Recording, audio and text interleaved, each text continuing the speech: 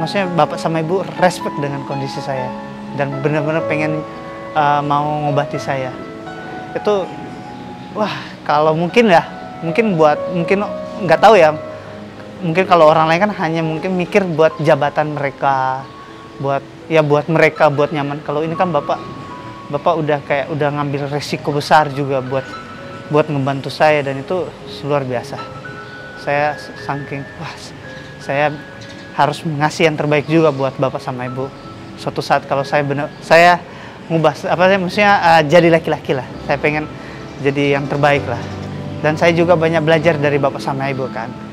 Karena uh, jujur ya mungkin orang tua saya uh, dari segi pengetahuan mereka untuk membimbing anaknya itu kurang. Tapi setelah saya ketemu bapak sama ibu terus mereka memperlakukan saya seperti anak dan saya dikasih ilmu ya saya pelajari itu karena buat saya itu bekal buat saya ke depan.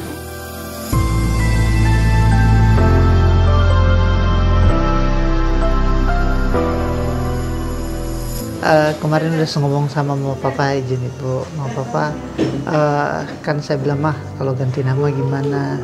Terus papa bilang ya nggak apa-apa. Yang terbaik buat kamu.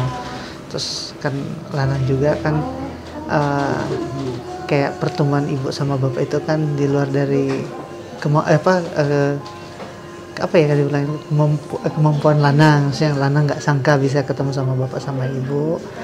Ya mungkin kalau berkenan uh, sebagai tanggung jawab buat lanang ke depan lanang bisa ingat itu. Lanang pengen ada nama ibu sama bapak. Hmm. gitu izin ibu. Jadi? Ya mungkin ibu bisa sama bapak untuk kasih nama lanang lah. Lanang apa. Hmm.